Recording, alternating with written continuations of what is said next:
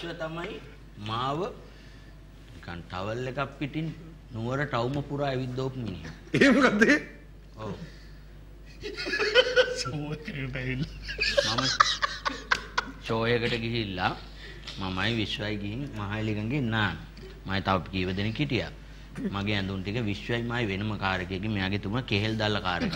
සයිනොස් එක. සයිනොස් එක. කෙහෙල් දැල්ලේ පාටයි. ස්පෝර්ට්ස් කාර් එක. ගිහිල්ලා දැන් අපි දෙන්න දැන් කට්ටිය නාන්තර නාන්නත් අමාරු ඉතින් සෙල්ෆි විතරනේ ඒ නිසා ටිකක් එහෙයින් වෙනම බහැලා මම ටවල් එක ඇඳගෙන විශ්ව හොයනවා හොයනවා නේ විශ්ව ගෙදර ගිහින් හසරල්ගේ කාර් එක. ඊට පස්සේ අනිත් වාහනේ ටවල් හරි කොට ටවල් එකක් ඒක ඇඳගෙන ඇඳගෙන හිටියට වැඩකුත් නෑ වගේ. ගෙදරින් බැලලා වෙන්න කියලා මං දඩ පිටි කරලා ගියා බලන්න යන්න ටික මේක අයියා ගෙදර මම ටවල් එළියේ එක මෙහෙම දෙකොණින් අල්ලගෙන මං කො එන්නේ එන්නේ ඔයා ලැජ්ජනද එන්නේ?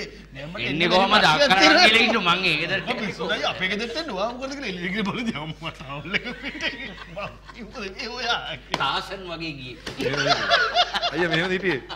තාසන් වගේ පැත්තට බලලා. පිහිය විතරයි අඩුවනේ